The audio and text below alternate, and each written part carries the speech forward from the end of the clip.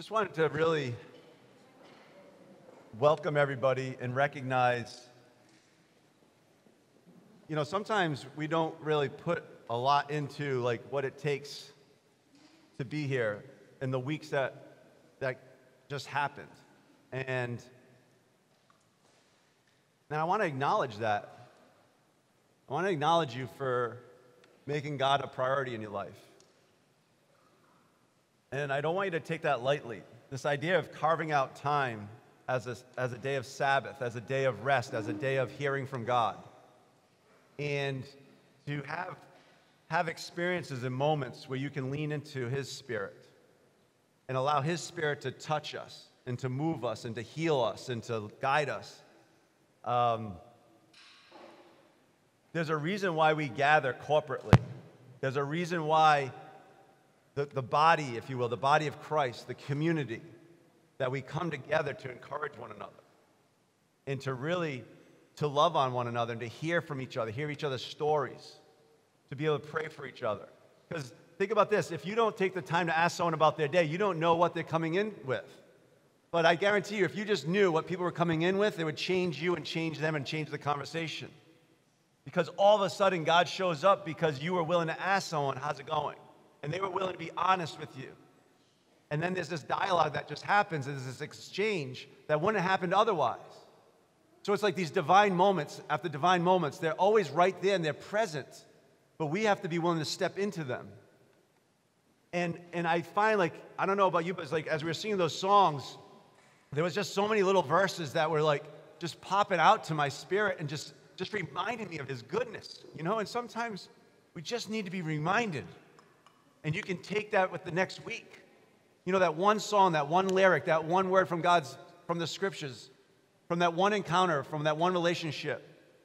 And you need that for that next week so that we can go back out in His name and to really just be on top of like why we're here. And we we've been in the series on James, and, and I want to kind of like just this is our final week on it, and there's one final challenge that I'm just so excited to share with you. Because James is, is, is starting a revolution. Like, I really want you to get that. You know, when James is writing this book, it's like the most practical book in all of Scripture. But if you really get the essence of it, it was right, it was right after Jesus was no longer here on earth, and not, yet there's a group of people that are followers of this way, the new way. But they were commissioned to go change the whole world. Think about that when we go in to make a little change in our lives. What if you were commissioned to go out and change the world, change the community, change a region? Right? And what does that take? And all of a sudden, James is saying the very thing that happened then happens today. So, in his word, when we talk about it, we have to really understand like it was about a revolution, it was about transforming people and nations. And if we lean into that, well, what is he saying? Like, what's so powerful about what he's saying is like, how can I be transformed? Because it first starts with my relationship with God. If I am not transformed by the grace of God, I cannot go out in his power. And James is going and saying, the way that you do that is through the power of your word. We spent several weeks talking about our words matter. And there's power in our words. And, and the way that we uh, go about our day, the way that what comes out of us, living into our future matters. And so, but today, our challenge is this to develop our character in Christ. Because James is after something, saying we can only go so long in our own power, in our own. It's like, I'm going to do this. I have this desire, and I'm going to just hunker down, and I'm going to do it. I'm going to do it. I'm going to do it. We can only do that for so long. And we need Christ's power to come in and make that difference. And so, without his character, without his character, we're flawed. And without his character, we're not going to be able to sustain all the different things that life comes at us with. You see that? Life's going to come. And when it comes, will our character sustain it? Do you see that? It's like when I can, I can literally watch my character waning, right? And I can watch it steady one day and then not, you know, wavering the next day. But the more that I get rooted in Scripture, the more I get rooted in my beliefs, the more I get rooted in why I'm here, and I get rooted in relationships that build me up, then it's like when those waves come, then I can be centered and I can sustain them because my character is solid. So, if you look at discipleship, I want you to be thinking about this idea of like, what's your character like today? And then what's one way, what's one area that I can bolster that thing up as I leave here? I'm going to take this one thing with me. And I'm going to ask God to help this be part of my character. I remember um, years and years ago, it had to be 15 years or more, uh, my pastor had done a teaching, and it was on uh, love is patient. And patience is a part of our character. And when he was going through it, was like love is patient, love is kind, all these different things. He's like, well, turn it around. And he says, like, when you're not being patient, you're not loving. And it broke me because at that time, like anytime someone ever talked about parenting, I was a young parent at the time, and I felt like I was failing. I didn't feel like I was measuring up. And it was like, you know, you kind of get to the place where you don't have answers, right? And it's like, God, what do I do? And all of a sudden, this thing was like, I'm losing my patience with the people that I love the most. And it hit me. I was like, I got to develop my character in this area because they matter. You know, what we do matters, and what it impacts the next generation matters. And it impacts your family, and impacts the families around you, it impacts your colleagues. Like it's, you have to see this as the ripple effect, like what we do matters. In fact, I'll say it this way everything matters. Everything you do matters. Do we live that way, though? Maybe some things matter. Maybe this person matters today and this person doesn't matter so much. And that's us being human. So there's no, you know what I mean? Whenever I say this, it's a challenge, but there's no guilt in it. It's like we're real, but if we can keep developing more and more of that character, it actually just starts to come out of us naturally. And I'd suggest supernaturally. So, Danielle, why don't you come up? We'll do the, the morning reading just to kind of set the tone for the James, book of James.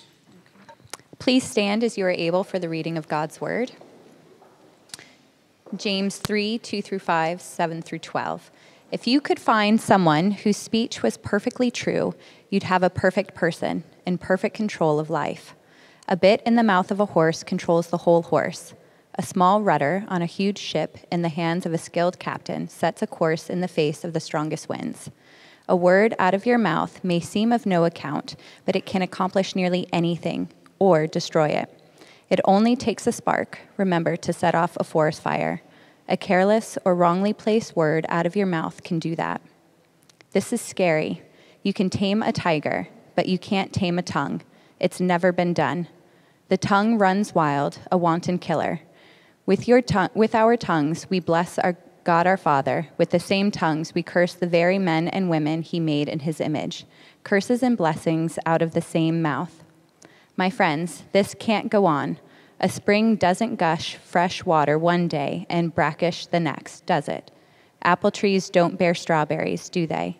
Raspberry bushes don't bear apples, do they? You're not going to dip into a polluted mud hole and get a cup of clear, cool water, are you? May God add his blessings to the reading, hearing, and doing of his word. Amen. Thank you. You be seated.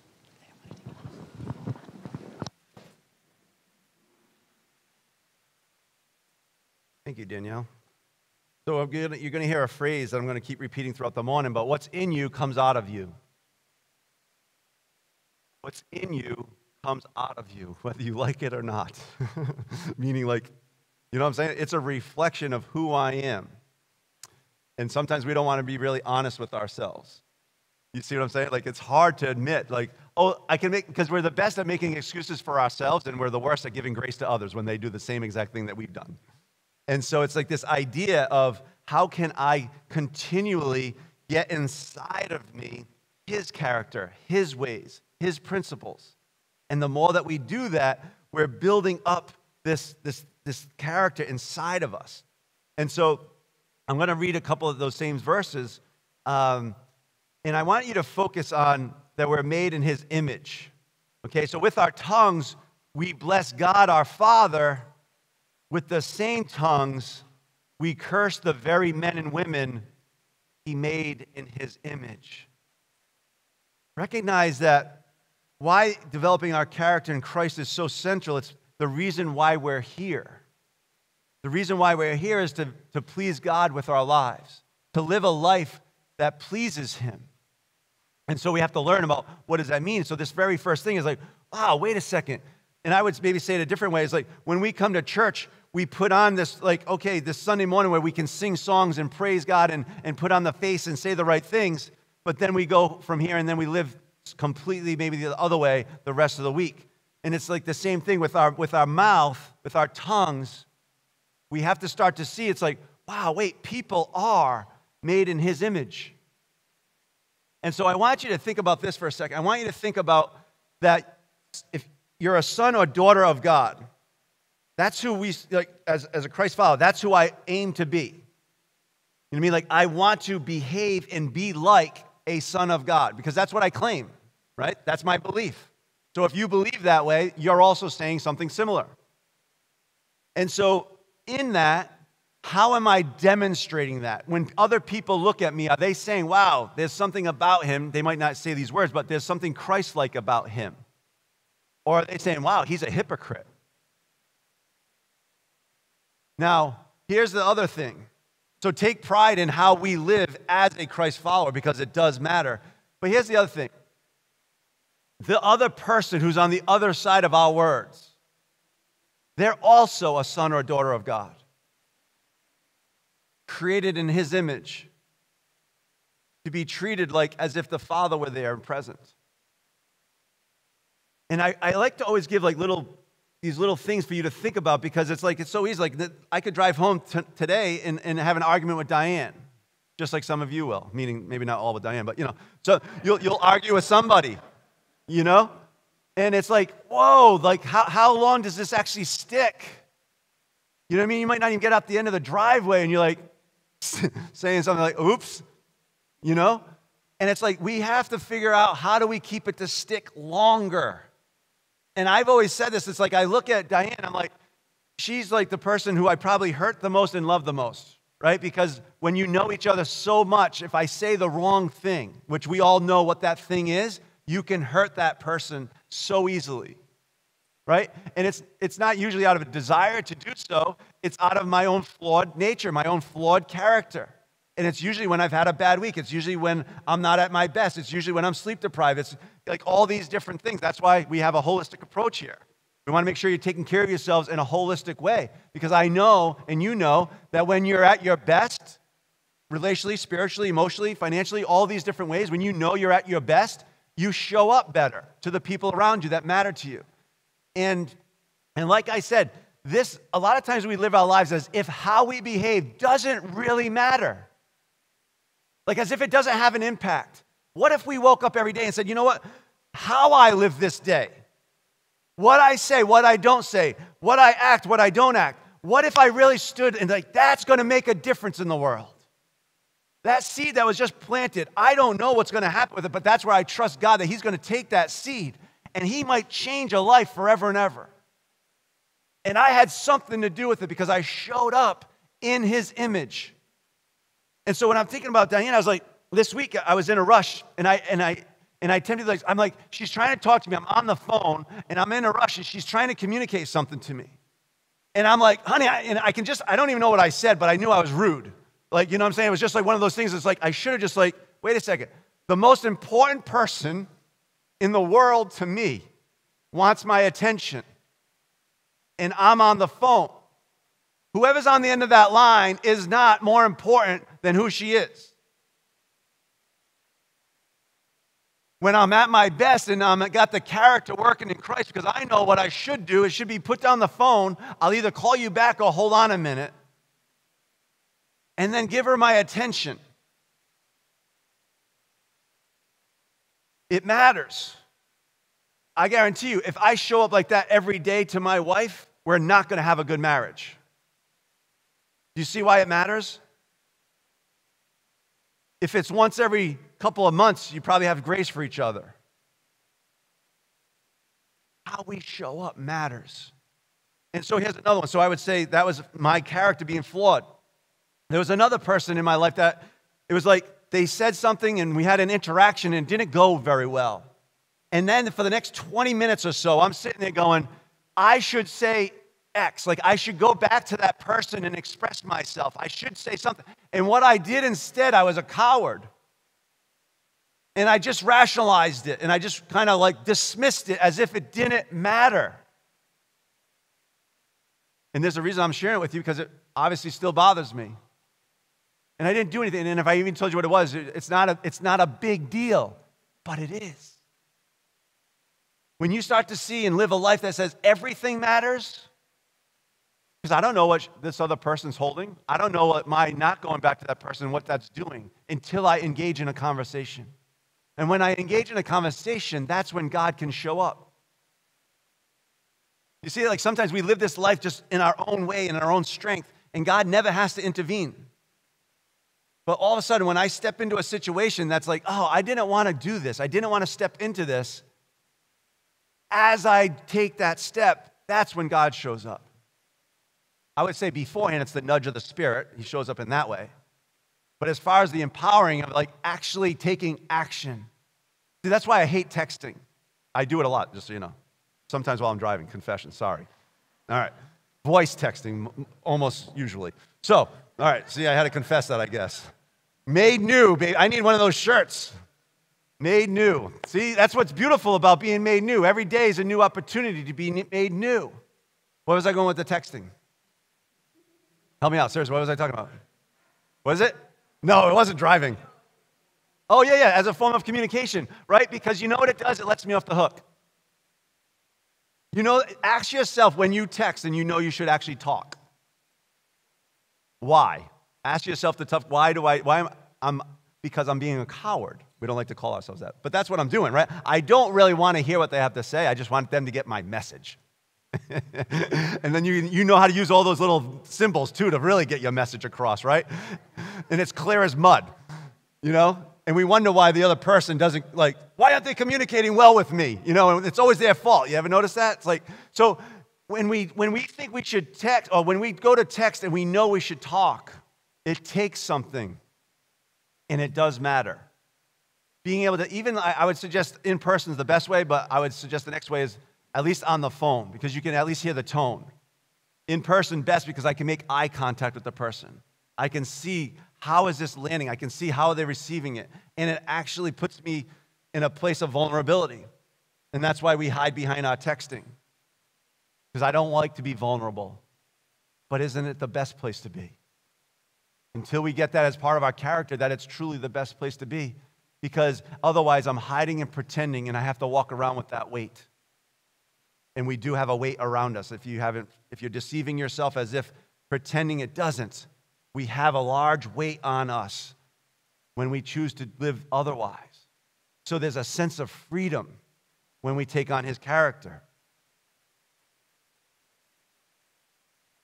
You know, and then I was laughing at myself because I was sitting there like, this is where the battle happens because the scripture says about you and I, it says you're more than a conqueror in Christ. It says that in Christ all things are possible. I won't pick up the darn phone though. The Bible for it says, uh, it says, I don't give you a spirit of timidity or fear. I give you a spirit of love and power and of a sound mind. And then how do I show up? How's my character? I show up as timid and fearful. I'll send a text. Some of us don't even send a text, we just withdraw, withhold. We'll just hurt people with our silence. You ever do that? Hurt people with your silence? So James 3 continues. It says, A spring doesn't gush fresh water one day and brackish the next, does it? What's inside of us comes out of us. So I always think like the best place to start whenever I think about character is about the fruit of the Spirit. And what I'm doing is I'm going to use Galatians 5, which is a, a very popular set of scriptures. But what I'm doing is I'm going to compare the, the NIV translation with the message translation because a lot of us are familiar with the NIV, so I wanted to mix it up. But let me just read it to you first. But what happens when we live God's way? a great question. Pause there for a moment. Recall those times in your life when you truly felt like this is what God would have wanted. And I lived into that. But what happens when we live God's way? I shouldn't even continue because for some of us, this is the, this is the question. Because part of, part of our relationship with Jesus Christ is a surrendering there's a submitting. There's something that says, like, you know what, God, your ways are better than my ways. and I'm going to live as such. So, for some of you, before you leave today, maybe this is it. This is the one thing you needed to hear. Because I have to convince myself that if I live God's way, it's the best way to live life. I'm convinced of that. That's why I'll put myself through the wringer. You know what I mean? Like those times of like when I'm not getting it right and then I want to get it right. There's a reason why I do want to get it right. And when I say right, I'm not talking about from a righteous perspective. I'm talking about from a submissive, like I do. I want to please you, God, not because I have to. So wrestle with that. And then it continues, it says, He brings gifts into our lives, much the same way that fruit appears in an orchard. Things like affection for others and we're going to go through this. Exuberance about life. So I'm going to go quickly. Serenity. We develop a willingness to stick with things, a sense of compassion in the heart. Even as I'm reading it, like, in, I'm going to read it again. In your spirit, which one of these pops out? That's what you're listening for. So I'm going to read it again. He brings gifts into our lives, much the same way that fruit appears in an orchard. Things like affection for others, exuberance about life, serenity, we de- develop a willingness to stick with things, a sense of compassion in the heart, and a conviction that a basic holiness permeates things and people. We find ourselves involved in loyal commitments, not needing to force our way in life, able to marshal and direct our energies wisely. So, for, for some of you, you know the scriptures very well. So, the fruit of the Spirit are what? Love, joy, peace, patience, kindness, goodness, gentleness, faithfulness, and self control. Like we, we, we got taught that, right? There's nine fruits of the Spirit. And so, we're used to love, joy, peace, patience, kindness, right? And we just kind of, so now I want you to look at each of them. We'll put up the next verse. It says, with the one love and then affection. It's like the graph one. Yeah. So, I put this up purposely. And Mark, this is when I would like for you to come up. And so, Mark's going to just play a little bit I want us to take a couple minutes and allow the Spirit of God to meet you where you're at. I want you to prayerfully consider which of these phrases, which of these verses minister to where you're at this morning. Allow the song, allow the music to just to move you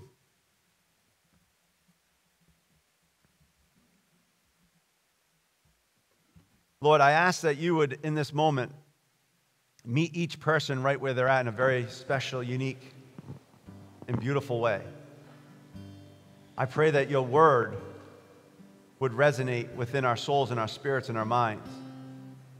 That we would just land on one thing, that your spirit would direct us just to that very thing that we need to hear this morning, here and now. And in that moment, Lord, help it to just get into us because this is the very thing that I believe that your spirit wants to add to our character, wants to strengthen us, wants the roots to go down deeper, so that when we're in those moments and our words, they're on our lips and we know we shouldn't say them, that we, we are able to control those things in such a way that when we speak, we speak life and not death. We speak words of affirmation, encouragement, and not curses and blame. Lord, because it says in Scripture, out of the same mouth, we can't bless you and curse you. And out of your word, we're made in your image in such a way that, goodness, we got to be children of God who treat others as children of God. So, Lord, have your way in us. Help us to settle in our soul that I do want to trust you. I do believe that the best way to live is according to your way. Lord, if people are wrestling with that, I ask that you just minister to them in that area. Whatever we have right now is just fine. And I just ask each person just to bring it as a prayer to God and just to give it to Him. And God, may you, in turn, meet each person right where they're at. In Jesus' name. Lord, I ask that you would minister to each and every one of us. And that we would just have that one thing that you're impressing upon our very being. And I thank you for the cross. I thank you that This is where you made a way for all humanity, and you changed the course of history just through this selfless act of love that took so much character to take on the world's humanity, take on the world's selfishness, and in a way, destruction, in a way, ugliness. And Lord, you took it upon yourself so that it could be taken care of and dealt with once and for all, so that we could be free and that we can be set forth into this world in a way that, because of what you demonstrate on our behalf, we could take that and make it part of our, our DNA, like who we are. And then that's how we'd live this life. And in that, your movement, your kingdom would go forth. And that's just amazing. So I thank you, Lord, and I thank you for this time. We pray this in Jesus' name. Amen. Amen. I just kind of keep this here, and at the end of service, as like we'll we'll close with a song. And if you'd like just to come up, like I've always, I don't know if you've ever done this. Uh, I always like to make permission for for opportunities for you to draw close to God, and and sometimes just coming close to this and touching it and and declaring something or leaving something at the cross is a very powerful demonstration. So uh, we'll leave we'll leave some time. I'm just going to have some closing thoughts here, and then uh, and then you can do that. I want to bring it back so because like as you see this, I want you to see like back to the power of our words and what's in us comes out of us. And so in the Psalms, it's a beautiful little thing. It's a great word picture. It says in Psalm 141, it says, Post a guard at my mouth, God. Set a watch at the door of my lips. And I like I love thinking about that. Like, um, if you, this is my silliness, but can you picture like a little sentry guy, like, you know, like, like sit there right on you, you know? And it's like, don't, don't say that. don't say that. That one's going to get you in trouble, right? And then, the, and then you got a good one like on the other side going, wait a second, say that. You know, say that. That would be really good if you say that. Well, don't say anything at all in this situation. That's pretty good, right? And if we just saw that we had these, these little guards, these little sentries but that's what the psalmist is saying. He's like, this matters. This is so important. And, and what I really want you to get is every one of the fruits of the Spirit that we just talked about, the one that you just named, all of them are impacted by our words. Do you get that? Like every single one, the character of Christ, the fruits of the Spirit, every one of them is either bolstered up or denigrated by, that might not be the right word, but by our words. Our words make all the difference. And this is why James is adamant about words changing the world. And so here's a, we'll end with this quote N.T. Wright. N.T. Wright is a, a former Anglican bishop, theologian, historian, and I really enjoy his thoughtfulness. And he says this he says, Any pretense of being devout that doesn't result in a serious working over of speech habits is a sham. This is a central and vital part of what it means to be truly human. And when we talk about our character, we talk about being truly human, it's taking on the very nature of God Himself. So, last week, we, um, we had a baptism and 2 Corinthians 5 says this So then, if anyone is in Christ, he is a brand new creation. The old life has passed away. Look, a new life has come. That's why we have these shirts called Made New. Um, and can we hand out this, honey? I know, but you can come on this side. So I did not fill them all out completely, so the, the logistics of that will be later. But if you guys could all come up, and we want to take a picture, so if someone has a nice camera or phone, when I say nice camera, anyone's phone is good. So, Kara, maybe. So, anyone that was baptized last week, come on up. Hold on, hold on. Can I get one? Can I get one? Sometimes it's hard to breathe. All these thoughts they shout at me, try to bring me to my knees, and it's over. So, like I said, if you want to just take some time to come up up front on your own, the rest of us, if you want to get going, you got to get going. That's great. Um, but I want you to take with you. I put up the action steps, Will. Just a couple of things to be reflecting of. Whether you want to choose a fruit of the Spirit to develop and live out this week, that could just be that very thing that you need to bring with you. Or maybe it's meditate on God's word each day for 10 minutes and just allow His scripture, His word, to get into our being a little bit more. Or maybe it's to spend time with God in prayer and just talking and listening each day for a few minutes. You know, just kind of take it in and, and make that part of who you are this week. Maybe it's to fast and to pray one day this week. And this is going to be my action step. But some of you, if you've never fasted before, fasting is simply just, um, you know, choosing to give up food for the day. And, and what it does, it just allows you to really depend on God and trust Him as your provider. And it maybe makes you more sensitive to the leading of His Spirit. So, whatever it is, that's why I always put other in there. It's like whatever God is putting on you, inside of you, drawing out of you. But, but to come to church and then to leave and, and just continue on as is, isn't why we do what we do. We come here so that we can leave transformed and go out and be the church more powerfully. And so let's take a moment and just allow them to sing. And like I said, if you'd like to come up, touch the, pray at the cross, whatever that looks like, and if you have to go, God bless you. Thank you for coming to church.